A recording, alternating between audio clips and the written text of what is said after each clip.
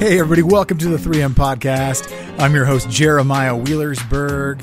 This is the Minister, the Ministry, and Me show with JN Wheels, and uh, I got a special show for you today. I like to uh, I like to mix it up every once in a while, and so I'm going to mix it up, give you guys some variety, um, kind of just introducing you into my life. We have conversations um, about everything from God, giving Him glory, how we can serve God, um, theology, doctrine, and then I also like to share since the beginning of this podcast words from old dead guys. And so that's what I'm going to bring you today. Um, just to mix it up, I'm one of those guys. I got introduced to uh, really enjoying audiobooks by uh, Joel, my brother, uh, Joel Wheelersburg. He's on the podcast uh, quite a bit. Um, also, with that note, if you guys are looking for more content, we started putting uh, video podcast segments um, up on my Facebook, also on YouTube, and at jnwheels.com. So um, you can find, we're calling it Sunday Drive. Um, where Joel or whoever ends up in my car on the way home from church on Sundays, since that time's there, anyways, uh, we're just talking about whatever that Sunday message was. So we're calling it Sunday Drive, and it's just us hanging out in the car, um, laughing, and then having some talks about the Bible and whatever we're talking about or going through in church that week. So check it out. You might enjoy it. So, right now, welcome to my garage. I'm actually going to introduce you guys to an old dead guy named Harvey Newcomb. Um, I'm pretty new to him, but I went to a uh, Reformed Church uh, 500 year anniversary celebration um, on Halloween Day because that was the the the the 500th anniversary was um, October 31st, and so um, went there, got some free materials, um, Reformation materials. This one was from a guy named Harvey Newcomb. Um, he was around from 1803 to 1863, and this is a book called A Guide to Bible Study. Um, I like some of these uh, pamphlets that guys used to put out uh, back in the day. Um, you don't have to say a lot to get a good point across. Um, there are some really good resources out there. I talked about that in the last episode and kind of introduced this um, this uh, topic to you guys. But I'm just gonna gonna start this one from the beginning. And if you guys want to listen, if you're into audiobooks, um, this might be your thing. But you're just kind of hanging out with me in the garage and listening uh, to me read a guide to Bible study by Harvey Newcomb. Harvey Newcomb was an American clergyman and writer. He was born in Thetford, Vermont. Um, he removed to Western New York in 1818, engaged in teaching for eight years, and from 1826 till 1831, edited several journals, of which the last was the Christian Herald. For the 10 following years, he was engaged in writing and preparing books for the American Sunday School Union. Uh, he was licensed to preach in 1840, took charge of a congregational church in West Roxbury, Massachusetts, and subsequently held other pastorates. He was an editor of the Boston Traveler in 1849 and in 1850 assistant editor of the New York Observer, also preaching in the Park Street Mission Church of Brooklyn, New York. Um, in 1859, he became pastor of a church in Hancock, Pennsylvania. He contributed regularly to the Boston Recorder and to the Youth's Companion. Um, and also to religious journals. He wrote 178 volumes, of which 14 are on church history, the others being chiefly books for children. He died in Brooklyn in 1863. All right, and so without further ado, um, that noise was the sound of my neighbor. Today's trash day. Tuesday trash day, and so uh, my neighbor was bringing his trash can up to his garage. I'm sitting out here um, in my garage. I've got my little heater on with the garage door open and uh, enjoying myself. So, without further ado, here is a guide to Bible study by Harvey Newcomb. A guide to Bible study, study to show thyself approved unto God. 2 Timothy 2:15 to a true child of God, nothing is so precious as the volume of inspiration. It is like a mine of all sorts of metals and precious stones, overlaid with gold and silver. That which is most necessary for the common purposes of life lies on the surface. These are the simple truths of the gospel, which are essential to salvation. But below these are the iron, the tin, the copper, the strong truths, the doctrines, the practical principles which tax the powers of the mind to develop, but which give strength and consistency to the Christian character. Yet, beyond these is an inexhaustible treasure of precious stones, every examination of which discovers new gems of surpassing luster and surprising beauty. The Bible is the charter of the Christian's hopes, the deed of his inheritance. Is he a wayfaring man in a strange land? This book contains a description of the country to which he is bound, with a map of the way on which all the crossways and bypaths are designated. Is he a mariner on the stormy ocean of life? This is both his chart and compass.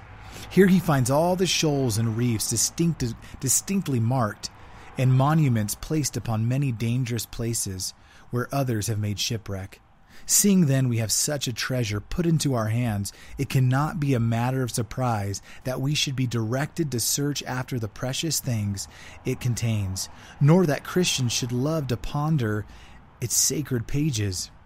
Thy word, says the psalmist, is a lamp unto my feet and a light unto my path. Psalm 119, 105. It is like a lantern which sheds light on our path amid the darkness of the night to direct the steps of our feet. The sincere Christian will therefore search the Word of God for a knowledge of His will with more eagerness than he would search for hidden treasures of gold and silver. In obedience to the command of God, he will set his heart to the work. After the giving of the law, Moses said, Set your hearts unto all the words which I testify among you this day. Deuteronomy 32:46. To set our hearts upon any object implies such a love for it and desire after it as leads to a strong determination to make every possible effort to obtain it. And this ought to be the settled and permanent feeling of our hearts in regard to a knowledge of the will of God as revealed in His Word. And as we obtain this knowledge, we should imitate the psalmist who said, Thy word have I hid in my heart that I might not sin against thee. Psalm 119:11. His object in hiding the word in his heart was to know how to regulate his conduct so as not to sin against God. So must we hide the word of God in our hearts, and for the same reason we must study it as the directory of life. Whenever we open this blessed book, this should be the sincere inquiry of our heart Lord, what wilt thou have me to do? Let us come to it with this childlike spirit of obedience, and we shall not fail to learn the will of God. But when we have learned our duty in God's word, the next thing is to do it without delay. First, there must be an earnest desire to know present duty, and then a steadfast and settled determination to do it as soon as it is known. The pressure of obligation rests upon the present moment. And when present duty is ascertained, the delay of a single moment is sin. With these remarks, I submit a few practical directions for the profitable reading and study of the Holy Scriptures. 1. Read in a quiet place. Read the Bible in your closet or under circumstances which will secure you from interruption either by the conversation of others or the attraction of other objects. Do not attempt to fill up little broken intervals of time with the reading of God's Word. Leave these seasons for lighter reading. Reading the Scriptures is conversing with God, who speaks to us when we read His holy Word. His all seeing eye rests upon our hearts, and He knows whether we are engaged in solemn trifling. If we read His Word so carelessly as not to understand its meaning and drink in its spirit, we treat him as we should disdain to be treated by an earthly friend. Let us then never approach the Word of God but with feelings of reverence and godly fear. 2. Prepare your heart and mind. Go to the Word of God with a preparation of heart. If we were going to visit some person of great consequence whose favor and esteem we wish to secure, we should take care to have everything about our persons adjusted in the most becoming manner. So let it be with our minds when we come to converse with God. Let us shut out all worldly thoughts and strive to secure a tranquil, holy, and tender frame, so that the truths we contemplate may make their proper impression upon our hearts. 3. Seek the aid of the Holy Spirit. Christ promised his disciples that when the Holy Spirit should come, he would guide you into all truth. John 16:13. Without his enlightening influences, we cannot understand the Word of God, and without his gracious influences, we shall not be disposed to obey it. But we have the most abundant encouragement to seek the aid of this divine instructor. Christ assures us that God is more willing to give his Holy Spirit to them that ask him than earthly parents are to give good gifts to their children. Before opening God's Word, therefore, we should pray that He would show us the truth, the rule of our duty, and incline our hearts to obey it. And as we proceed, keep our hearts silently lifted up to God for the same object. 4. Read with self application. Whenever you have discovered any truth, ask what bearing it has upon present duty. If it relates to spiritual affections, compare what it what it compare with it the state of your own heart if it relates to the spirit and temper of Christians in their intercourse with one another or with the world, compare it with your own conduct. If it relates to some positive duty, inquire whether you've done it. And wherever you find yourself deficient, endeavor to exercise repentance and seek for pardon through the blood of Christ, with grace to enable you to correct what is wrong. 5. Read the scriptures regularly. A daily supply of refreshment is no less necessary for the soul than for the body. The Word of God is the bread of eternal life, the food of the soul. Take then your regular supplies that your soul may not famish. Choose for this purpose those seasons when you are least liable to interruption, when you can retire and shut out the world, when you can best command the energies of your mind there is no time more fit and suitable for this than the morning.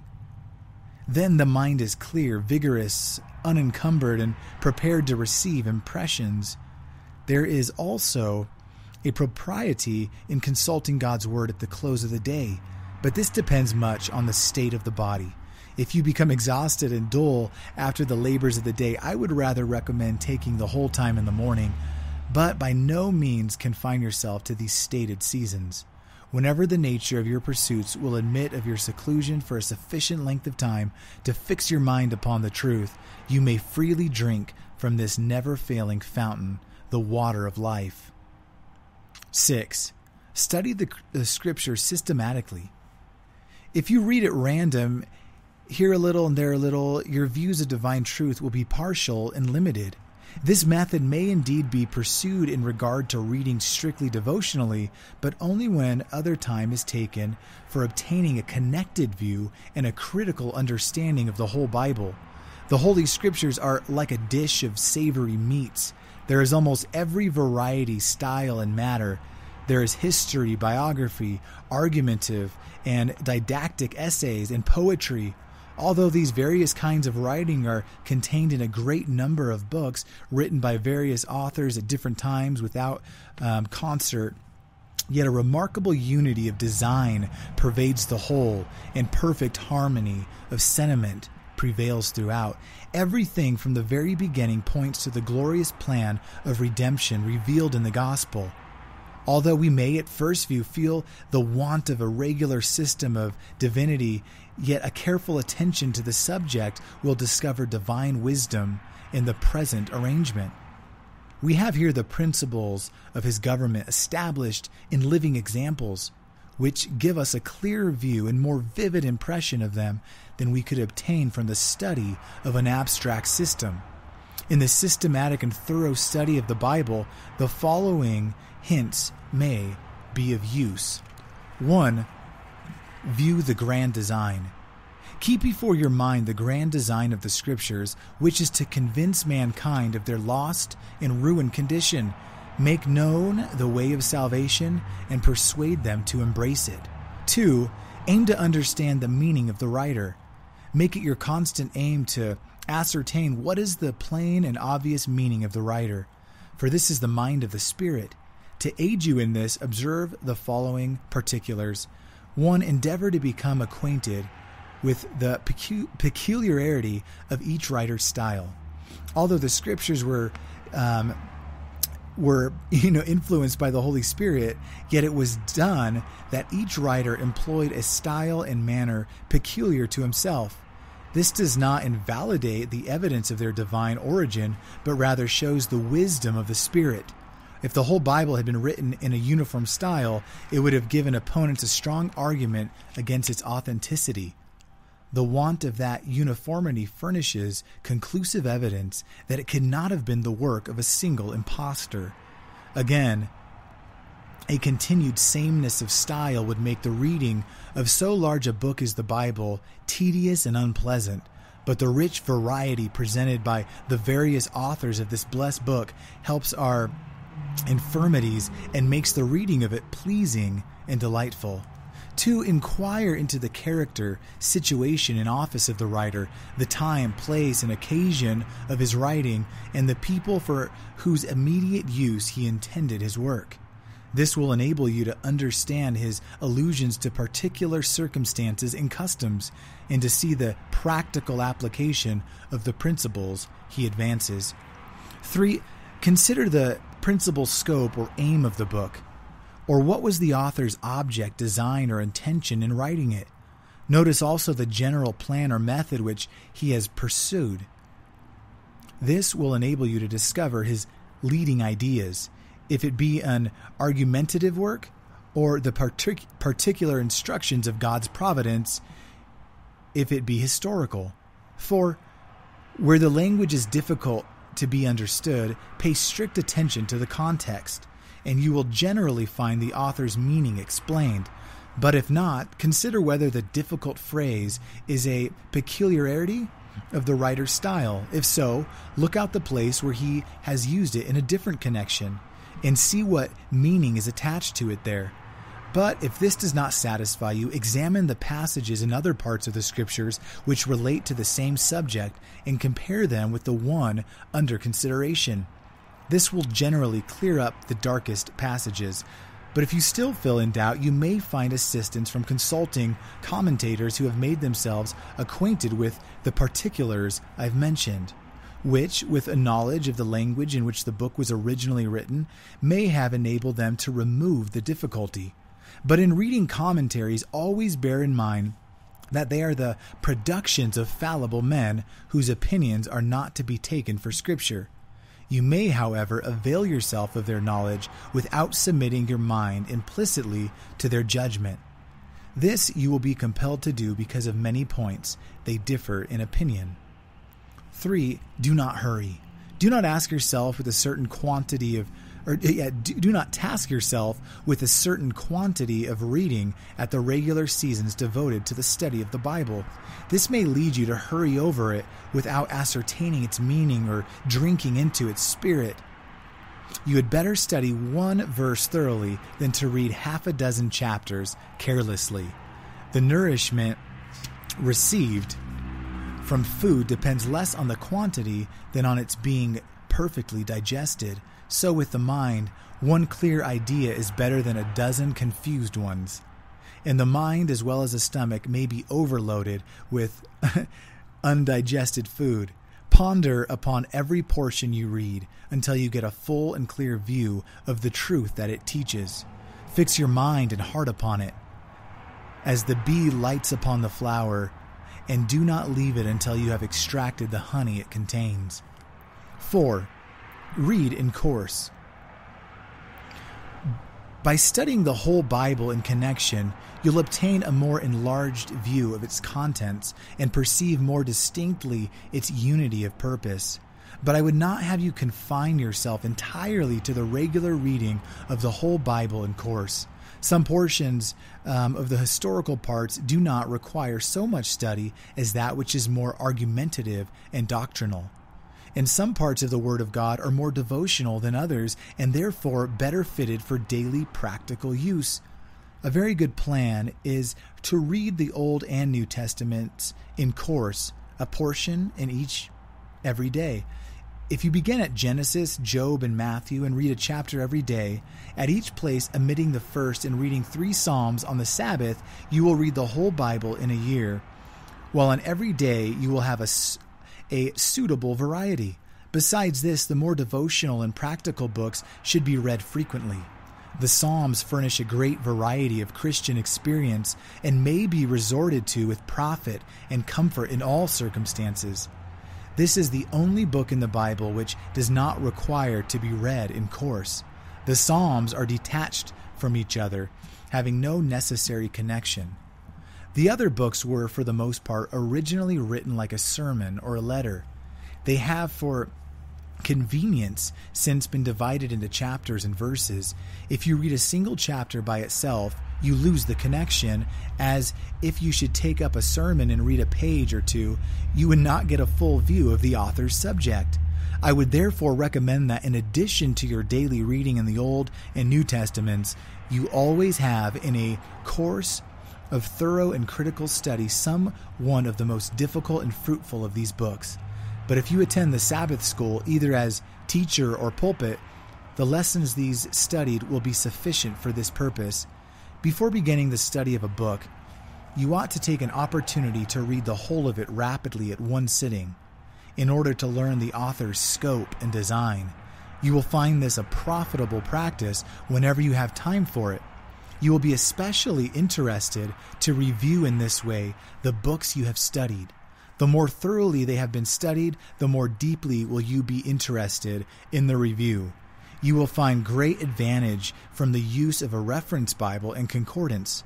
By looking out the parallel passages as you proceed, you will see how one part of the scriptures explains another and how beautifully they all harmonize.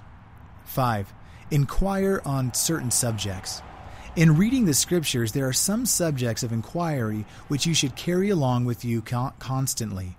A. What do I find here which points to Christ? Unless you keep this before your mind, you will lose half the interest of many parts of the Old Testament, and much of it will appear to be almost without meaning. It is full of types and prophecies relating to Christ, which by themselves appear dry, but when understood are most beautiful and full of instruction. B.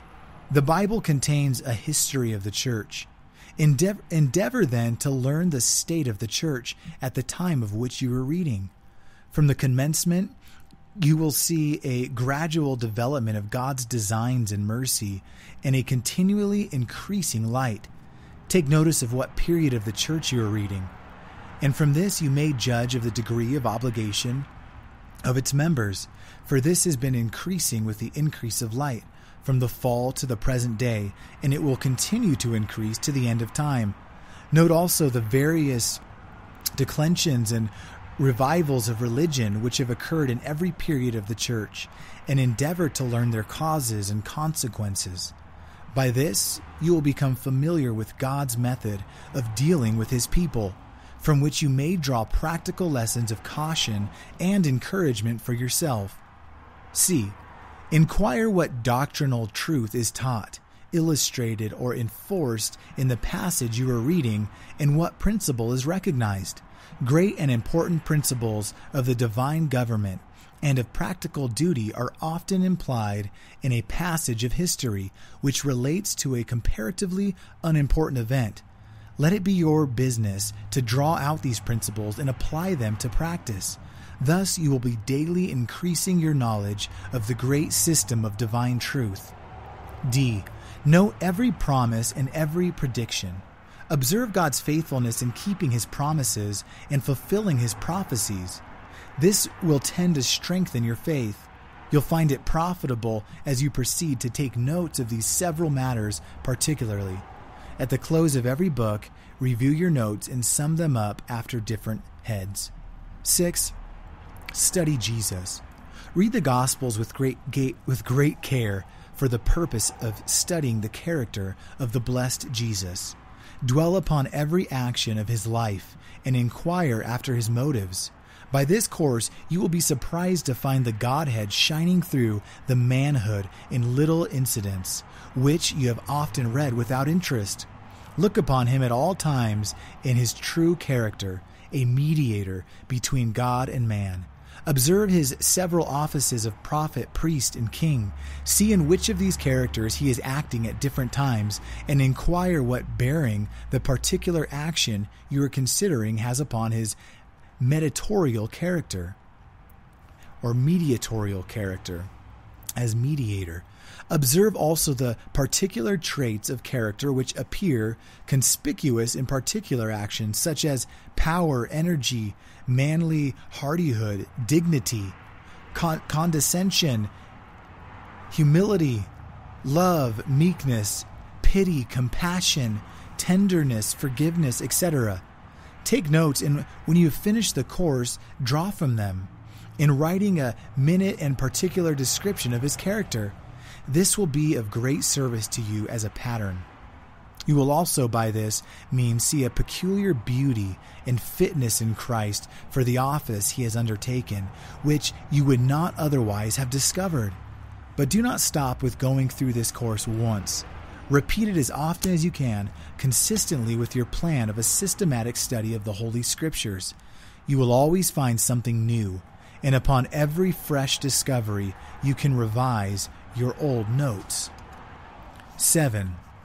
History and Biography.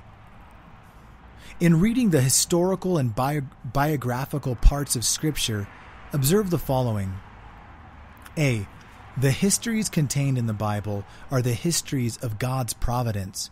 Notice his hand in every event and inquire what principle or law of his moral government is exemplified. Carefully observing its application to nations, communities, and individuals. B. When you read of particular mercies or judgments, look back for the cause. In this way, you may discover the principles on which God administers his most holy, wise, and just government. C. In the biographies of the Bible, study the motives and conduct of the characters described. If you're if they are unconverted men, you will learn the workings of human depravity and discover what influence a correct religious public sentiment has in restraining that depravity. If they are good men, you will see in their good actions living illustrations of the great doctrines of the Bible. Endeavor to learn by what means they made such attainments in holiness and strive to imitate them. If any of their actions are bad, look back and inquire into the cause of their backslidings. If you discover it, you will find a waymark to caution you against falling into the same pit. 8. Poetry and instruction. The poetical and didactic parts of the scriptures are scattered throughout the whole Bible. These abound with highly wrought figures. This is probably owing partly to the insufficiency of ordinary language to press the lofty and sublime ideas presented to the minds of the writers by the Spirit of truth, and partly to the method of communicating ideas which always prevails in the infancy of language. Endeavor to understand the figures used. They are often taken from prevailing habits and customs and from circumstances peculiar to the countries where the scriptures were written. These habits and circumstances you must understand, or you will not see the force of the allusions. Others are taken from circumstances particular to particular occupations in life.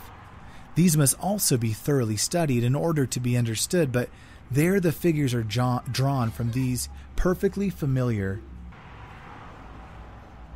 You will not perceive their surpri- surprising beauty and exact fitness to express the idea of the sacred penman until you have carefully studied them and noted the minutest circumstances. Beware, however, however, that you do not carry out these figures so far as to lead you into fan- fanciful and visionary interpretations. 9. The Prophets. The books of the prophets consist of reproofs, exhortations, warnings, threatenings, predictions, and promises. By carefully studying the circumstances and characters of those for whom they were written, you will find the principles and laws of God's government set forth in their application to nations, communities, and individuals. From these, you may draw practical rules of duty and also learn how to view the hand of God and His providence in different ages of the world. The predictions contained in these books are the most difficult to be understood of any part of the Bible. In reading them, you will notice A, those predictions whose fulfillment is recorded in the Bible, and diligently examine the record of their fulfillment. You will see how careful God is to fulfill every jot and tittle of His word. B. There are other prophecies, the fulfillment of which is recorded in profane history, and others still which are yet unfulfilled. To understand these, it will be necessary to read ancient and modern history in connection with the explanation of the prophecies by those writers who have made them their study. Attention to this, so far as your circumstances will admit, will be useful in enlarging your views of the kingdom of Christ. But beware of becoming so deeply absorbed in these matters as to neglect those of a more practical nature. And especially be cautious of advancing far into the re- regions of speculation as to what is yet future. 10. A whole book. You will find it an interesting and profitable employment occasionally to read a given book through for the purpose of seeing what light it throws upon some particular point of Christian doctrine, duty, practice, or character. For example, go through with Acts with your eye upon the doctrine of Christ's divinity.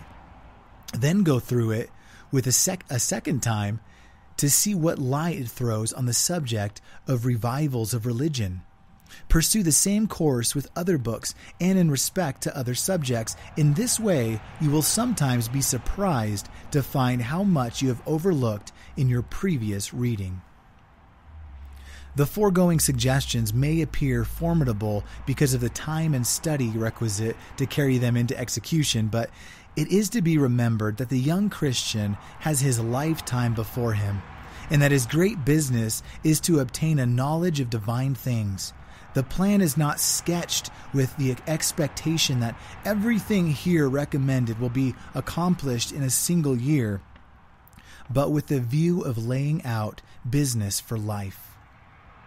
And with that, you guys, I want to thank you for listening. Um, that was the entire book. I just read the entire work, um, A Guide to Bible Study by Harvey Newcomb, and I don't know what that took 30 minutes. And it was only 16 pages, but I wanted to share with you guys some of these old works that are available for distribution that we can just um, reproduce and give to you guys. There's a lot of people out there, young and old Christians, who have never read any work on how to study the Bible or received any advice on, like, here's how you can read and study and gain from the scriptures in depth.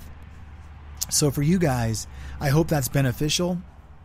I like audiobooks because sometimes I just can't sit still. and it's good just to pop the headphones in and just listen or sit back with a cup of coffee or a beer if you're that kind of person like me. Um, and just listen to a, a Christian work, something that can encourage you to further um, your knowledge of the Bible, to hopefully draw you closer to Jesus in your walk with Him. And so, with that, you guys, I hope you enjoyed that A Guide to Bible Study by Harvey Newcomb. And with that, have a good night, you guys.